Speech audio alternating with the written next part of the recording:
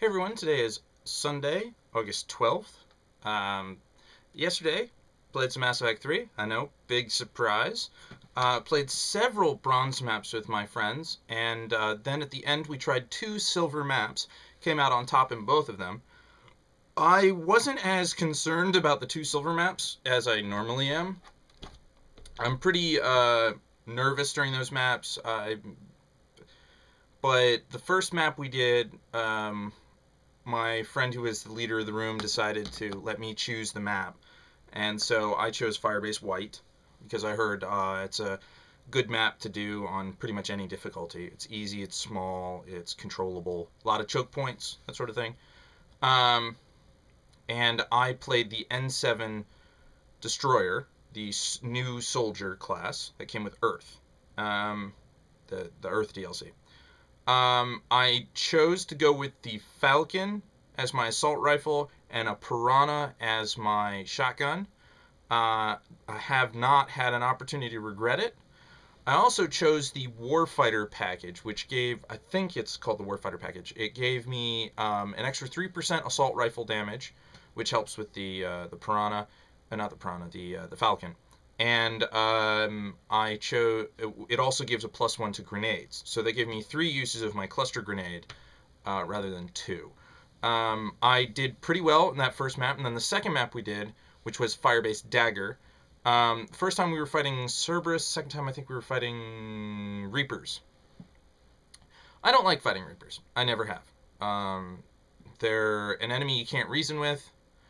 Um, you know, Cerberus is just stupid the Geth, um, they're programmed that way, in a way, and uh, but the Reapers are just unrelenting, for whatever reason. Um, like at least in the Cerberus and the Geth, they can see a point where they need to retreat.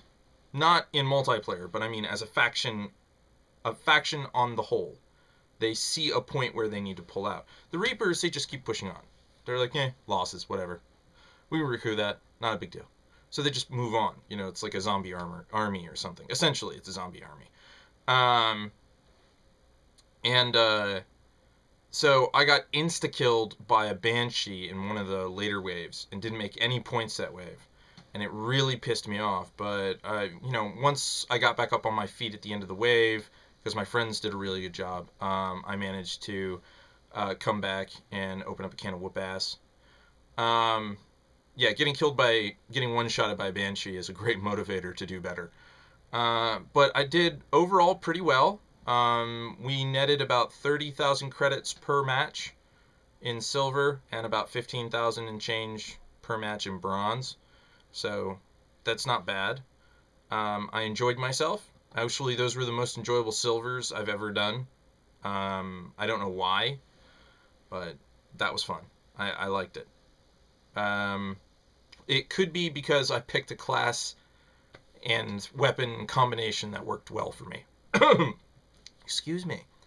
Class and weapon combination that worked well for me. Anyways, um, I've been hankering to get back to my trooper in Star Wars The Old Republic. Hmm.